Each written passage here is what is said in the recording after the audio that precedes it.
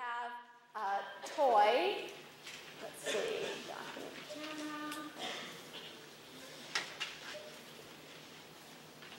That comes from an old toy box. It doesn't show up very well on here, but um, it is a round ball that has a black. No, I definitely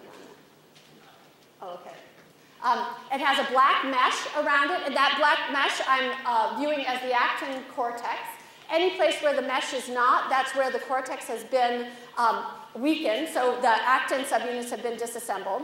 And then, if you actually exert force on the back end, so oops, this one wants to move in this direction, then I exert force back here, and what happens is you have extension of pseudopodia out the front end. So that's my, that's it, that's the demo. so that is, um,